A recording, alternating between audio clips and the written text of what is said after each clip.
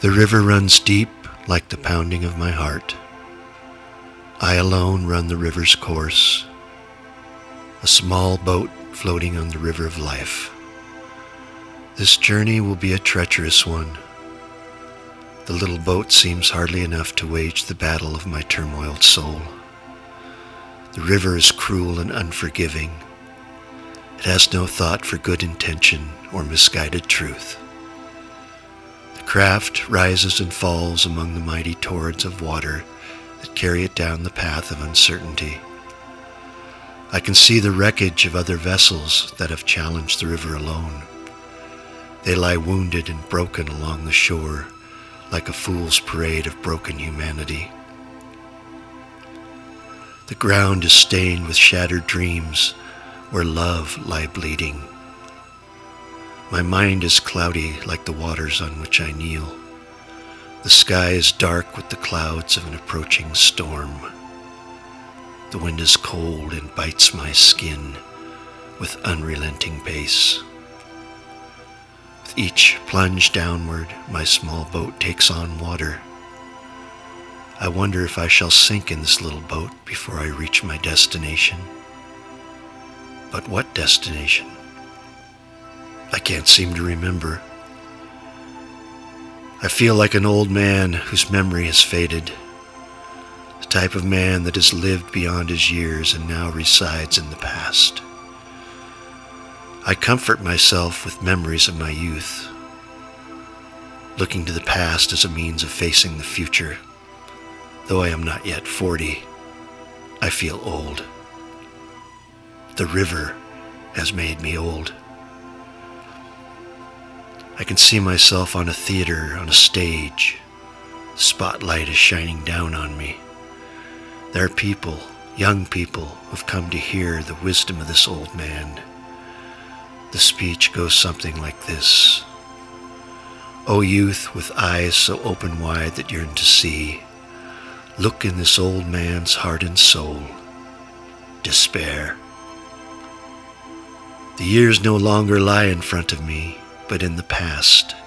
The life I live is there. Collecting wisdom all to you I give, but in your youth from me cannot receive lessons learned, mistakes through which I've lived. Yet, on your own, the trials will be conceived. And when someday you stand here, center stage, to relive your life for those who've come to hear. Remember me, the words to you I gave, and proclaim them loud so maybe they can hear. But know the choice in every soul is made, for through the years your voice, like mine, will fade. If I had only made better choices, if I'd only been a little smarter, if only. But that makes no difference to the river. It has a mind of its own. It's beginning to rain. It's the kind of rain that falls in sheets, sometimes blinding, sometimes painful. The rain mixes with my tears. I can't help crying because I'm afraid. It's not just fear that makes me cry. It's loss of people and dreams I have left behind. There's a line from The Wizard of Oz that I will always remember. In convincing the Tin Man that his acts of love and courage were proof that he had a heart, the wizard said to him, A man is not judged by how much he loves, but how much he is loved by others.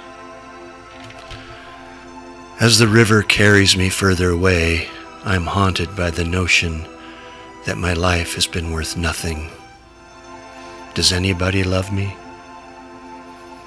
Did any of my friends love me? If we understand love, will it not be evident to those in our lives who are close to us?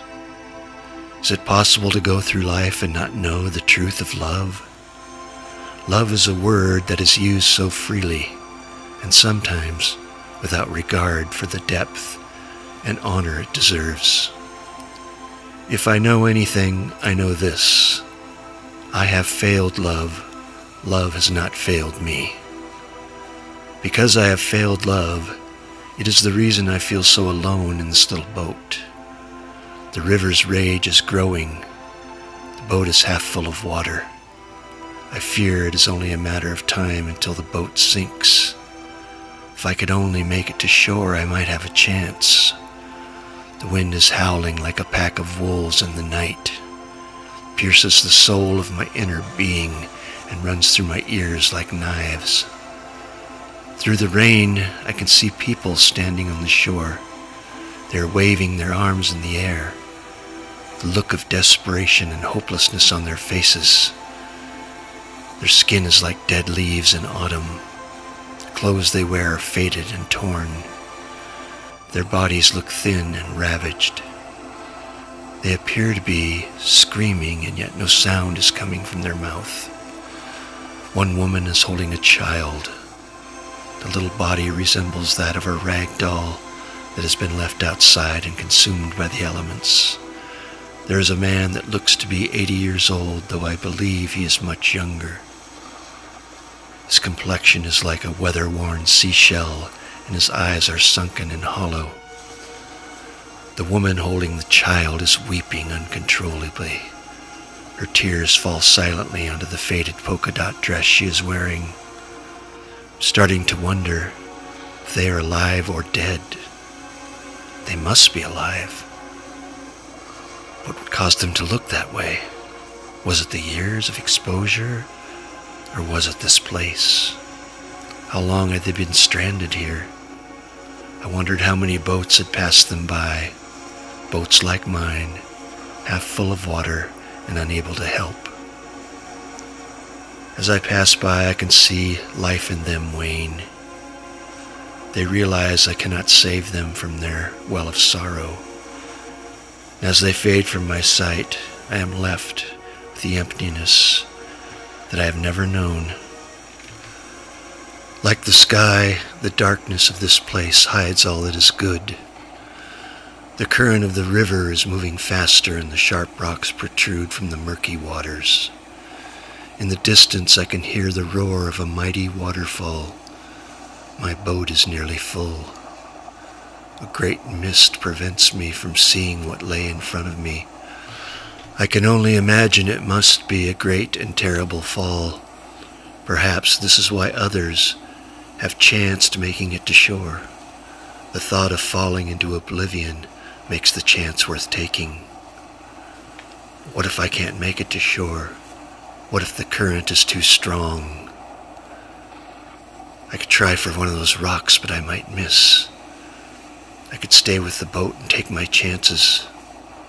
Has life come down to this? Chance? What a choice. I could die in this boat or end up like the people on the shore. But I've got to decide because the falls are getting closer. The water has completely filled the boat. The water is freezing and my body is numb and I am exhausted. I must decide. There is a large rock about five feet away. It's my last chance.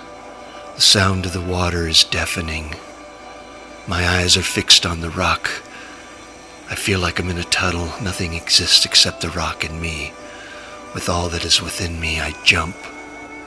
The river consumes me. I slam up against the mighty rock. I grab hold, but the current is starting to suck me down. I have no air. I can't breathe. And then everything goes black. In that moment, a thousand memories rush through my mind. I remember the times I sat on my dad's lap when I was little.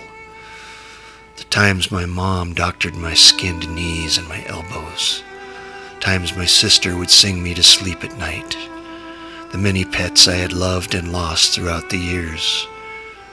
I remember the feeling of wonder I had seeing my children born. I remember looking into the eyes of a loved one. I remember when the Lord called me to be his own. My mind is filled with the familiar sounds and smells that have surrounded me in this life. Christmas trees, chocolate chip cookies, dogs barking, kids playing, choirs singing. And then darkness.